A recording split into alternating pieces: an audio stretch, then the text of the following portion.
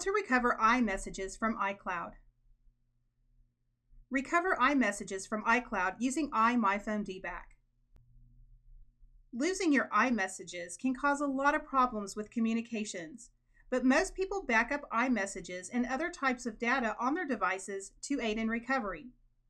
If you do back up your iPhone data on iCloud, this video will show you a way to recover iMessages from iCloud using iMyFone D-Back. Download and install iMyFone D-Back on your computer. Double-click it on your computer to launch it. From the left side, there are four modes to choose. Smart Recovery, Recover from iOS device, Recover from iTunes Backup, and Recover from iCloud Backup.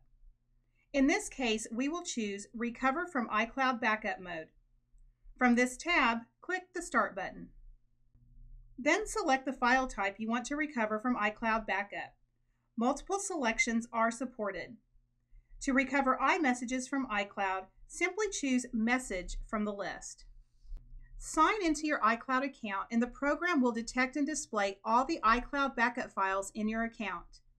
From the files displayed, Pick the one that may contain the iMessages you want to recover and click the Next button to scan for your iCloud backup files. After the scan is finished, you can then preview the iMessages in your iCloud backup file and select the messages that you want to recover. Then click Recover on the right bottom corner to save the messages to your computer. With these easy steps, you can recover the recoverable iMessages from iCloud using iMyFone D-Back. You can also recover messages directly from iOS device or iTunes Backup by choosing Recover from iOS device or Recover from iTunes Backup mode. The procedures are similar as Recover from iCloud Backup.